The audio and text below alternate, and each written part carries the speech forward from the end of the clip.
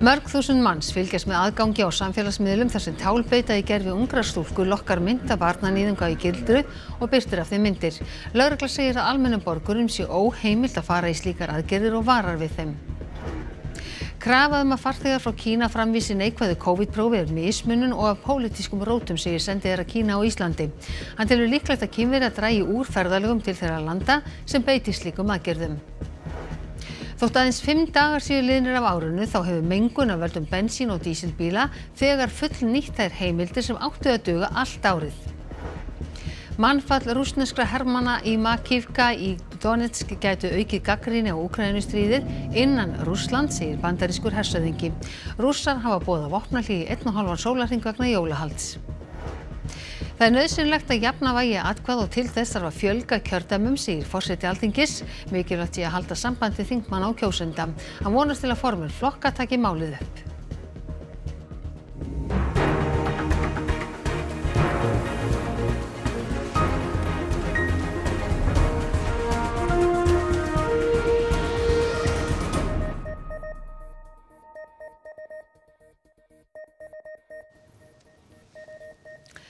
Komið þið sæl. Lögreglu er ekki heimilt að notfæra sér gögn sem aflað er með ólögmættum hætti og almennum borgurum er ekki heimilt að fara í sjálfstæðar tálbyttu aðgerðir, segir yfirmaður kynferðisbrotadeildar lögreglu. Mörg þúsund manns fylgjast með aðgangi á samfélagsmiðlum þar sem tálbytta lokkar myndabarnanýðung á í gildru og byrtir af þeim myndir.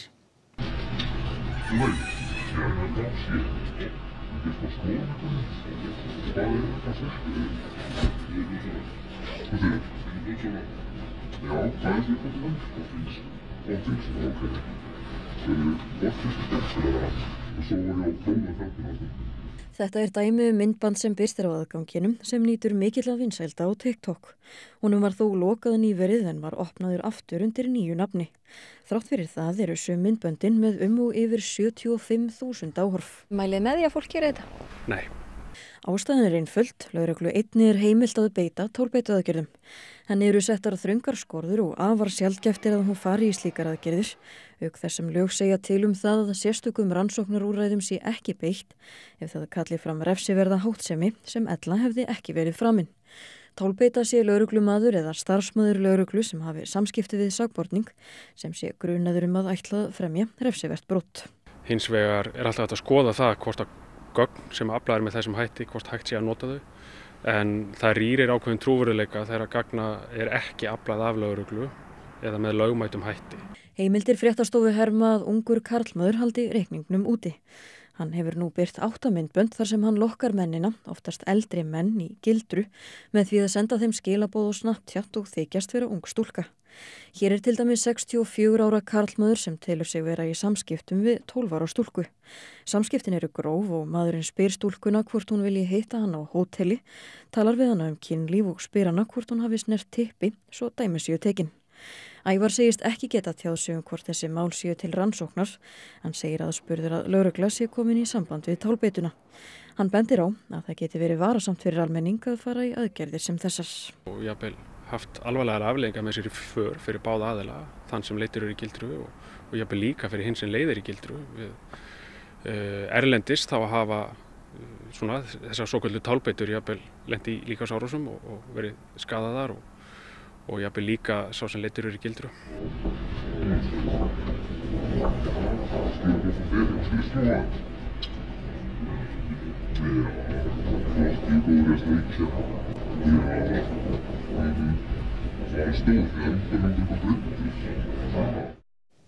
Svíjar og þjóðverjar bættist í hóp þeirra þjóðar sem ætlaði að krefjast COVID-prófs á farþegum sem koma frá Kína vegna fjölkunar smitaðar. Sendið herra Kína á Íslandi segir aðgerðna fjöla í sér mismunun og séu af pólitískum toga. Kynverjar séu að ná tökum á veirunni. Európusambandið ákvaði gær að beina þeim tilmælum til ríkja sambandsins að krefja farþega frá Kína um neikvægt COVID-próf. Ítalja, Frakland og Spátn hafa þegar gertað og í morgun bættust Þískaland og Svíþjóð við. Syftet med ett krav på negativt test är att fördröja en eventuell introduktion av nya virusvarianter och därmed öka möjligheterna att vidta åtgärder och i förlängningen att minska belastningen på hälso och sjukvården i Sverige. These are, are discriminatory against China because they single China out play, playing restriction only on China exclusively. And also, if I can go even further, I would say these are politically manipulated. He segir það skjóta skökku við að ríki sem hafi áður viljað að Kína aflétti sótvarnatakmörkunum beiti aðgerðum gegn landinu þegar það sé lóksins gert. Þá hafi samstarfið aðra þjóðir, hvort sem það var í tækni eða sótvörnum, oftar en ekki riðlast vegna gaggríni samstarfstjóða. There are so many countries still criticizing China when it comes to technology cooperation or medical cooperation. I think China is singled out and it's apparent for people and countries to see around the world what is going on. Hea segir kínvesk stjórnvöld skoða að grípa til gagnaðgerða. Hann vildi ekki nefna hvernig aðgerðir það væru en almenningur gæti þó brúðist við. So I think it will have a very negative uh, impact on the general public opinion in China. So in the future, Chinese travelers will vote with their feet, I'm sure. Þá vísar he á bug gaggríni alþjóða heilbriðistofnunarinnar um að gögnin frá Kína séu ekki fullnægjandi. Samskiptin hafið þvert á móti aukist við stopnunina og upplýsingar veittar samkvæmt lögum. So I think if there's any accusation of China being not uh, uh, specific about uh, the data, I think that is not reasonable. Hann segir að kínverjar séu nú við það að ná tökum á faraldrinum. Dánartíðni sé svo lægst það sem þekkist og almennt séu þeir vendaðir gegn slæmum veikindum. For example, in Beijing, we believe it has already passed the peak of the outbreak and Beijing has now returned to normal life, according to some reports. Já eins og þarna mátti sjá að þá er eitthvað óláfu textavílinni hjá okkur en hún komst í lag þarna í blá lokinu þessari frétt. En fyrst var það félagsmálar á þeirra svíþjóðar sem sagði að þetta snúist um að senka mögulegi útbreyslu nýran afbröði veirunar og með því að geta brugðist við með nýjum varnar aðgerðum og í framhaldunum dragur áleginu á heilbriðiskerfið í Svíþjóð. Síðan var sá sem talaði hér í lokin, það var sendi herra Kína á Íslandi. Hann sagði að þetta verið mismununga hvort kymverjum því þetta beinist aðeins gegn þeim og aðeins að verði fyrir takmörkunum og hann vil ganga lengra og segja á bakvið þetta búi pólitík.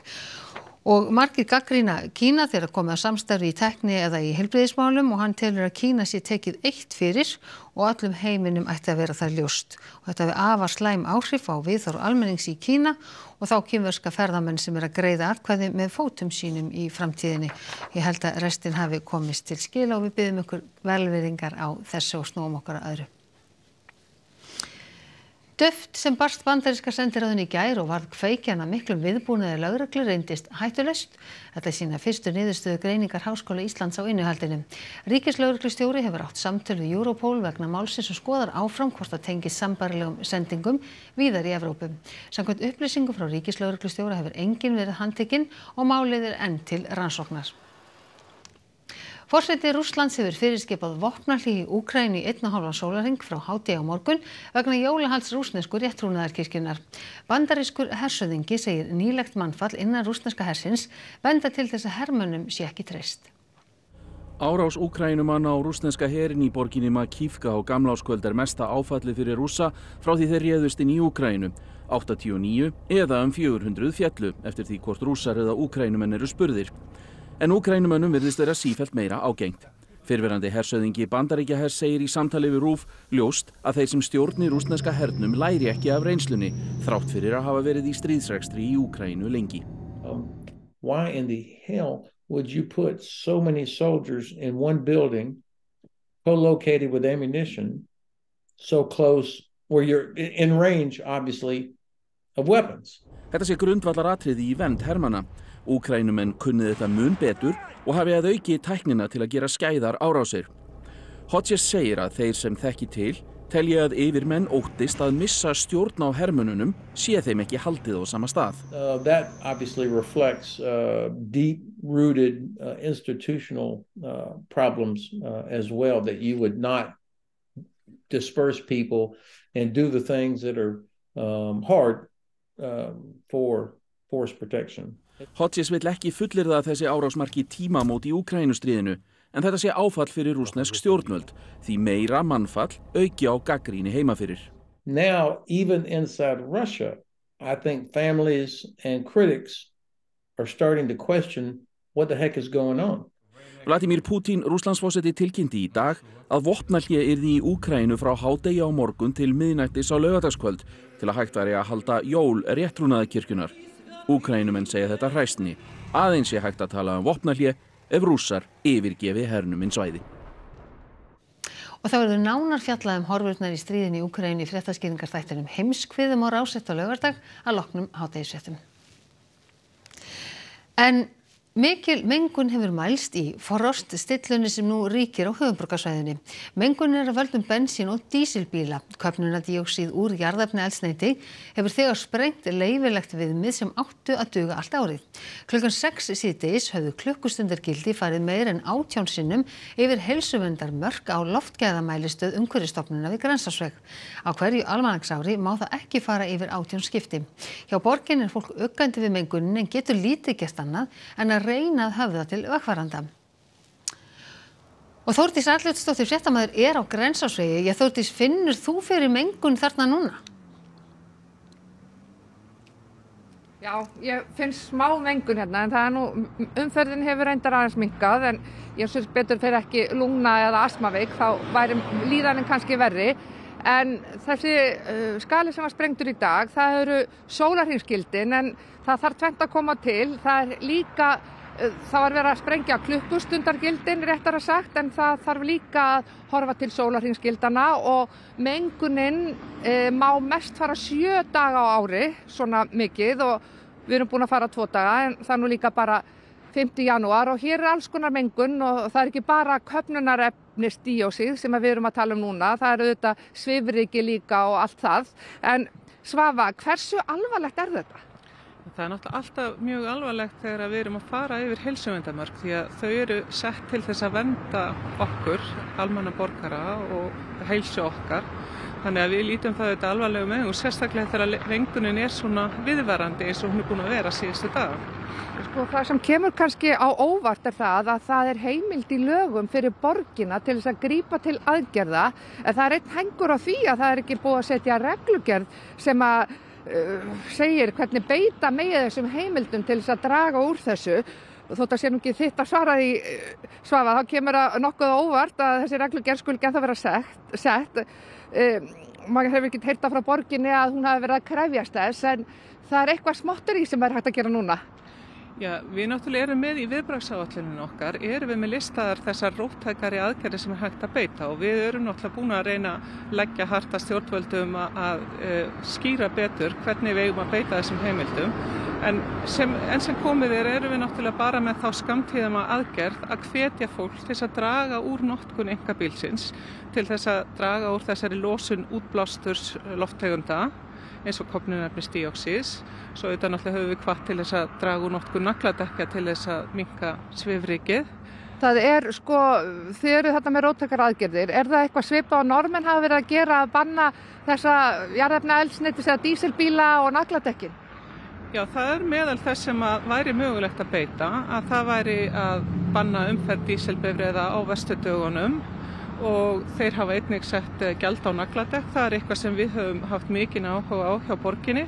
Svo er líka annars konar umfyrastýring eins og takmarka kannski bara bílar með 8-tölunúmer fá að keira þann daginn og svo framvegis.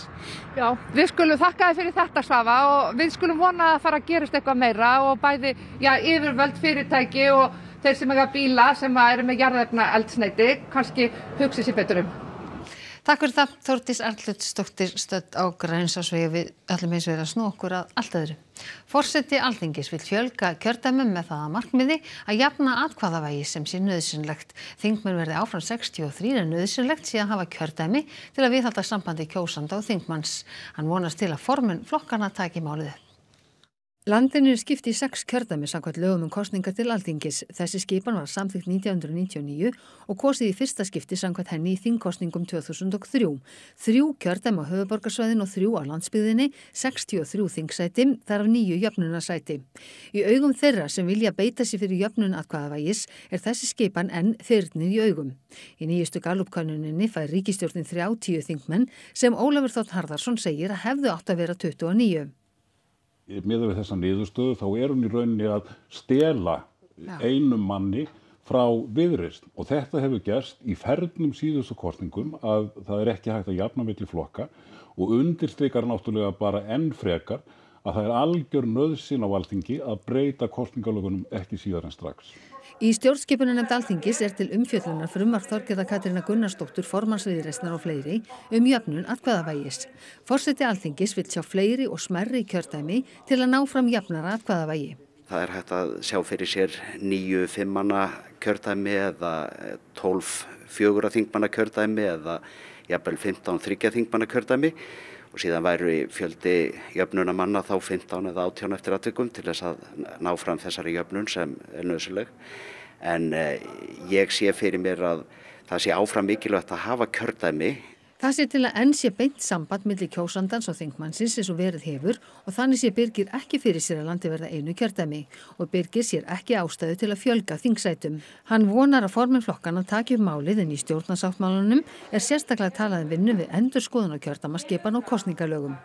Reynslan segir að þegar að fariður út í breytingar af þessu tægi þá eh, reynir á að það náist sem viðtakur samstaða millir stjórnmáluflokkana þannig að það að eh, þeir hafi frumkvæði þessum öfnum. Ég hens vegar mun fyrir mitt leiti tala fyrir þessum breytingum en það er kannski ekki beinlinni svo mínu valdi sem fórseta þingsins að taka ákvarðanir í þeim öfnum. Danska lögreglan handtók í dag 135 manns fyrir stórfælt peningaþvætti og fyrir að svíkja fjö út úr eldri borgurum, aðalega konum. Lögreglan komst á snóður um svíkin í fyrra og rúmlega 600 lögregluþjónar letur skara skrýða í morgun. Lörglan leitar enn tuga manna um alla Danmörkum. Svikarapparti notuðu samskiptaforrið sem gaf upp símanúmer frá lögreglum eða skatta yfirvöldum og komist þannig yfir bankanúmer og aðrar persónulegar upplýsingar. Á bankareikningi eins hinna handteknu fann lögreglan þrjár færslur að andurið þryggja til tæplega fjóra miljóna íslenskra króna. Dem, der ringer til dem, er typisk ikke dem, der får overført pengene til sig selv. De har engageret sig med nogle muldyr, og det virker rigtig organiseret det her de, de her muldyr er ofte nogen, som måske er lidt øh, naive. Andre er fuld med øh, viden om det, de gør. Altså de stiller deres konto til rådighed for de her organiserede kriminelle, sådan at de er med til at vaske de penge videre over i kriminelle organisationer.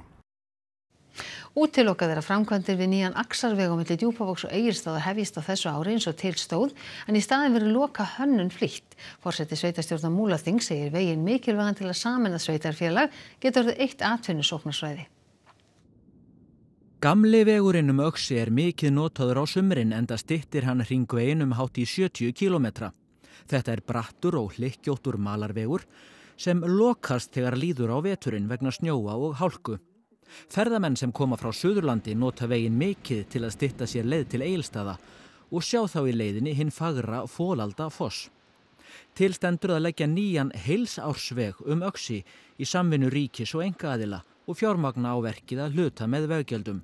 Bjóða átti veginn út á síðasta ári og áttu framkvæmdir að fara af staði í vor. En viðbótarfje sem hefði þurft vegna verðhækana skilaði sér ekki til ný framkvæmda á fjárlögum.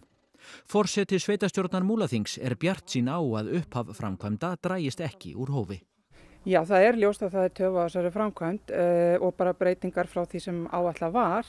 Uh, ég er að vona að það leiðir samt ekki til þess að það verði allt og miklar tafir. Uh, ég hef trú á því að það verði ekki teljandi ef að, ef að vonir okkar ganga eftir og, og það eru upplýsingar sem ég hef reynist réttar. Vegagerðin vill líka býða til vorsins og sjá nýja áætlun í ríkisfjármálum áður en ráðust verður í nýjan aksarveg. Á móti kemur að ákveðið var að fullhana vegin áður en enga aðili kæmi að borðinu og kemur það til með að flýta fyrir síðar í ferlinu. Við höfum þar upplýsingar að það sé verið að vinna í því vetur að fullhanna veginn. Uh, við höfum trú á því og vonum það að þingmun okkar fylgir því eftir inn í fjármála áallun að nægt fjármagn verði til staðar þegar það þarf að fara að byggja veginn. Þessi vegur er okkur gríðarlega mikilvægur því þetta stittir akstursvegalengdir innan okkar sveitafélags uh, og tryggir það að við hefum auðveldra með að vera eitt atvinnusóknarsvæði, stittir líka vegalengdir um milli landsluta. Nýr og góður vegur er, er öllum til bóta. Útverð Benedikts Páfa 16. var gerð í dag á Sanktu Péturstorgi í Róm. Frans núverandi páfi hafði umsjón með útförinni en það hefur aldrei gerst á síðari tímum að páfi jarðsingi forvera sinn. Um 50.000 manns mættu á Péturstorki þar á meðal fjöldi þjóðarleituga. Benedikt var svo jarðsettur í hofi undir kirkju heilags Péturs. Benedikt var páfi á erfiðum tíma fyrir katholsku kirkjuna þar sem nexli kom upp um kynferðislega misnótkun sem kirkjan hilmdi yfir. Hann þótti hins vegar afburða guðfræðingur og þegar eru komna fram kröfur um að hann verði gerður að dýrlingi. Padre, nelle tue mani consegno il mio spirito. Sono le ultime parole che il Signore pronunciò sulla croce. Il suo ultimo sospiro, potremmo dire, capaci di confermare ciò che caratterizzò tutta la sua vita, un continuo consegnarsi nelle mani del Padre suo, mani di perdono e di compassione. Og Kastljós kvöldsins verður á sínum stað og þar er verður fjallaðum miðasölumálungi satt Guður og Sólei. Jú, það er akkurat viðfánsefnið. Í vikunum var rætt um sögulegan samdrátt í miðasölu hér á landi sem sumir vilja meina að jæðri við hrun. Við ætlum að kanna hvort það standist með spjalli við tvo viðbyrða sérfræðinga. Og svo ætlum við að bregða okkur í Guðunessið og taka stöðu og hraðri uppbyggingu þar. Og þá að veðrið, veður verður með rólegra móti fyrirpartags á morgun en herðamun vind á landinu öllu þegar líða tekur að kvöldi. Að snjóa getur á köplum bæði norðan á austanlands en annar staði verður úrkoma lítil sem engin. Um helgina býður okkar stíf norðlag átt og hýtatölur muni fara hækkandi og þá sérstaklega austan til á landinu. En það er Teodor Freyr Hervarsson veðurfræðingur sem fyrir við horfur á í veðri að loknum íþróttafréttum sem Einar Örni Jónsson sérum í kvöld. Karlalandsliði handbólta heldur til Þýskalands á morgun til loka undirbúnings fyrir HM sem hefst í næstu viku. Mest áhersla hefur verið á varnarleikliðsins hingað til. Það er að finna þenn, þetta jafnvægi. Leikmenn íslenska liðsins fagna þeim áhuga og auknum væntingum sem gerðar eru til liðsins fyrir HM. Það séu forréttindi. Ef að fólki til að koma með okkur í þessa visslu þá bara gerur svo vel. Og fyrsta þjóðin hefur tekið kallið fórseta FIFA og nefnt leikvang eftir góðsögninni Pele sem lést í síðustu viku. Íþróttir hér rétt handan hotsins. Það var helst í þessum fréttatíma að mörg þúsund manns fylgjast með aðgangi á samfélagsmiðlum þar sem tálbeita í gerfi ungra stúlkur lokkar mynda barnanýðinga í gildru og byrtir af þeim myndir. Lögregla segir að almennu borgurin sé óheimilt að fara í slíkar aðgerir og varar við þeim. Krafaðum að farþegar frá Kína framvísi neikvæðu COVID-prófi er mismunun og að pólitískum rótum segir sendiðar Kína á Íslandi. Hann er líklegt að kynverja drægi úr ferðalögum til þeirra landa sem beiti slíkum aðgerðum. Þótt aðeins fimm dagar síðan liðnir af árinu þá hefur mengun af völdum bensín og dísilbíla þegar full nýttar heimildir sem áttu að duga allt árið. Mannfall rúsneskra hermanna í Makivka í Donetsk gæti aukið gaggrín á Ukrænustríð innan Rúsland síði bandarískur hersöðingi. Rússar hafa bóða vopnalli í einn og hálfan sólarring vegna jólahalds. Þessum fréttum er að ljúka og það kom að fréttum af íþróttum, veðri og svo kastlösi. Það eru næst fréttir í sjónvarp og útvarpur klukkan 10 í kvöld og vefurinn rúpundur ísir uppverður allan sólarningin. En við þakkum ykkur kærlega samfélgina þessum afur þessum degi verðið sæl.